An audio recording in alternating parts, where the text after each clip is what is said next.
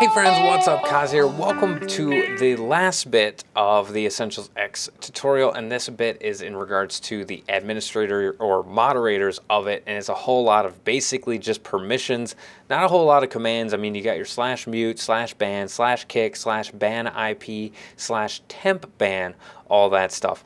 Um, so essentials.mute, essentials.mute.exempt, essentials.mute.notify, and essentials.mute.offline that the notify part is so that you get notified when people get muted um, or unmuted all that stuff and then the the offline is so that that player can then mute players who are offline as well this is kind of all managed in the line 175 of the config i kind of wanted to point out there that you can if your players even though they're mute they're like spamming through some other plugin to do a bunch of stuff so that they're heard you can also have it mute other commands from other plugins in there so that they can't do that when they're full on muted. So you would just do, we'll do the slash mute and then you do the player and then um, how long they need to be muted for. And I believe it's in seconds there.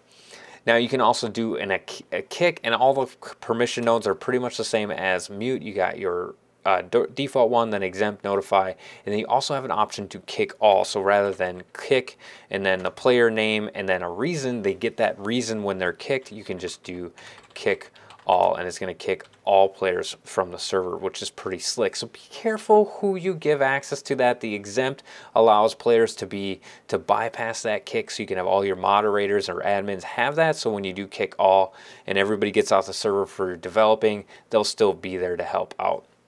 So you have essentials.tempban, so that is a temp ban command. So you got your temp ban player name, how long they're banned for, and then the reason. So if you have days, I believe you can do like one W for one week or one D for one day in there for the time frame as well as that works for mute, but you have um, pretty much all the same permission nodes like you do for mute and kick. There's two other ones you can ban based upon the IP address as well, which is nice. So you can do ban IP, and then if you know the IP address of that user.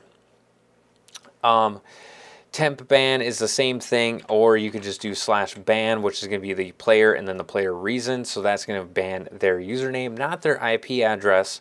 Um, so they have other usernames they, they'll usually hop on with that.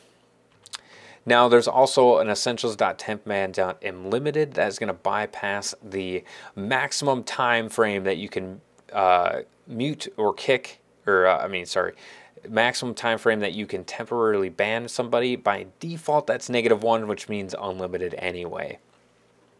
And then, of course, you're going to need essentials.unban if you want to unban people, or essentials.unban IP.